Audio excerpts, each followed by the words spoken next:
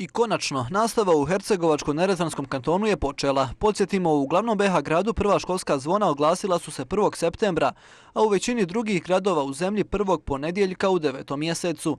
Na ovaj, kako prosvjetni radnici kažu, mali i kasni početak nastave ne treba gledati pesimistično. Djeca vole raspust, pa su tako dobili skoro dvije sedmice produženog ljetnog odmora, a kašnjenje se neće osjetiti ni u školskom planu i programu. E, što se tiče nekog posebnog gubitka, mislim da ga neće biti, mi ćemo to znati kompenzirati. U svakom slučaju, danas je počela nastava, gledajmo to pozitivno i mislim da nema potrebe da se uvijek diže neka velika buka oko tako nekakvih odluka. A iako nadležno ministarstvo još uvijek nije dostavilo dnevnik rada i u Mostarskoj gimnaziji smatraju da neće doći do poteškoća prilikom izvođenja nastave. Učenici neće biti sigurno na, na gubitku i evo vodit ćemo računa da se sav nastavni plan i program koji je nama propisan zakonom da se oni realizira jer učenici ne mogu izići iz škole da nisu, obra, da nisu obrađeni sadržaji uh, koji su propisani nastavnim planovima i programima. Zašto? Zato što je to opet poveznica za fakultet, za prijemne ispite.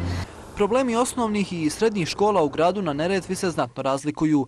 Dok srednje škole muku muče sa nedostatkom učenika u školskim klupama, osnovne škole bilježe povećan broj prvačića. Tako u cijeloj gimnaziji i po hrvatskom i po bosanskom planu i programu ukupno se školuje 466 učenika, tek oko stotinu u prvom razredu. To je znatno manje nego dosadašnjih godina. Nažalost, razlog je poznat svima manji broj učenika Eh, učenika koji dolaze iz osnovnih škola i ovaj tako da naravno da mi to u srednjim školama osjetimo. Dogodne će biti još manje. I to znatno manje, jer iz svake osnovne škole iz Mostara će naredne godine izaći u prosjeku samo po jedno odjeljenje spremno za srednju školu a treba će proći dosta vremena i školskih godina kako bi škole ponovo brojale pune učionice, jer tek u prvi razred osnovne škole u četvrtu osnovnu upisano je čak 70 prvačića. 620 učenika, imamo od toga 70 prvačića. I uvijek smo nekako emotivno ovaj, e, više senzibilni prema prvačićima i njih je ove godine upisano 70. Posebno smo im svečanost pripremali. Na priredbi u ovoj školi bilo je veselo, najmlađi su pjevali, plesali, igrali se i zabavljali sve prisutne i sve sa istim ciljem, pokazati prvačićima da škola nije bauk. I nastavnici i djeca su priznali da je sve življe i veselije za vrijeme školskih dana, ipak nekima tri mjeseca raspusta nisu bila dovoljna. Jesi bio danas u školi? Jes. Je li ti drago što je škola krenula? Nije. je li bilo, je li raspust dovoljno dugo trajao? Nije. Ti bi još? Bi. E, čemu se najviše veseliš u školi? Šta najviše voliš raditi? Družiti se. Šta, čega se voliš igrati najviše? Futbola. Je li tebi drago što je škola danas krenula? Jeste. Jesi li se odmorio na raspustu? Jesam dobro, bio sam na moru i svugdje. Mhm.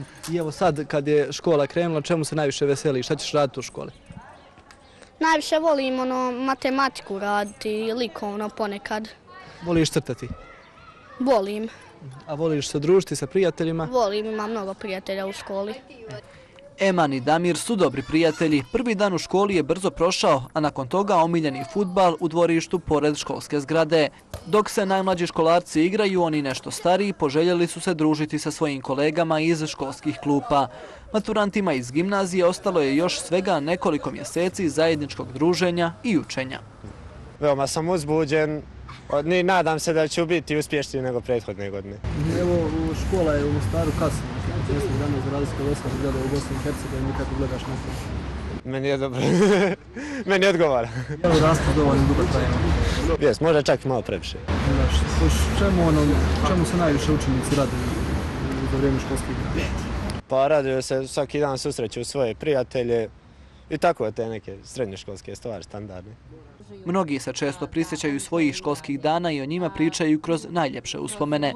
U gimnaziji Mostar kažu da su u toj školi svi jedna velika porodica i da nema podjela.